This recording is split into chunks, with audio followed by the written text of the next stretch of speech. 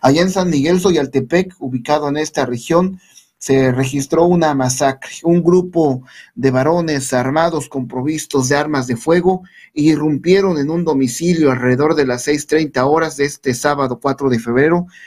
en un domicilio ubicado allá en la colonia El Mirador, perteneciente a esa municipalidad de la etnia mazateca. Fue al interior de una vivienda ubicada en las calles 3 y 4, donde un grupo de pistoleros irrumpió y atacó a balazos a las personas que allí se encontraban.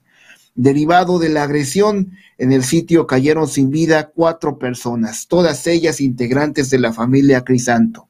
Consumada la masacre, los infractores escaparon del lugar rápidamente, evitando la acción de la justicia. Luego de las primeras investigaciones llevadas a cabo por fuerzas de seguridad, entre ellas la Secretaría de Seguridad Pública y la Fiscalía General del Estado, se confirmaron las identidades de las víctimas. Margarito Crisanto, de 52 años, así como sus hijos, Verónica Crisanto, de 25 años,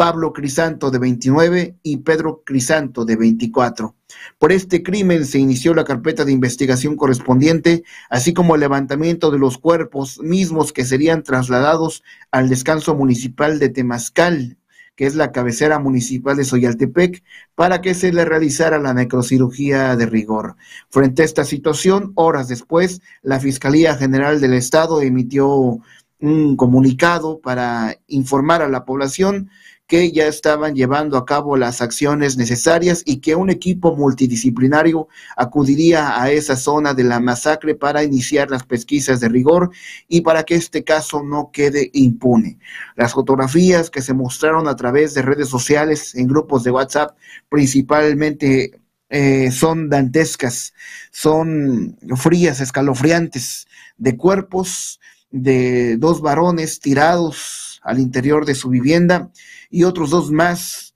de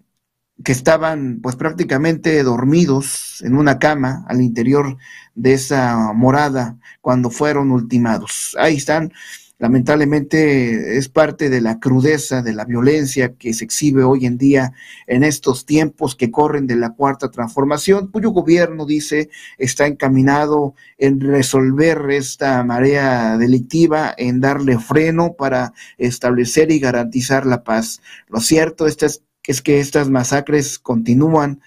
en suelo oaxaqueño, en este caso la región de la cuenca del Papaloapan, y Temazcal, que es uno de los municipios más violentos del estado, más violento de la región de la cuenca del Papaloapan, se sigue manifestando esta ola de violencia. Hace unos meses aquí mismo publicábamos cómo en un día secuestraron a un policía municipal, después asesinaron a un elemento de la policía municipal, han atacado en diferentes ocasiones las bases de la policía, grupos armados incluso han llevado a cabo levantones, secuestros de diversas personas que después han aparecido lamentablemente asesinadas en esa geografía de la etnia mazateca que es San Miguel Soyaltepec, Oaxaca, conocido popularmente como Temazcal.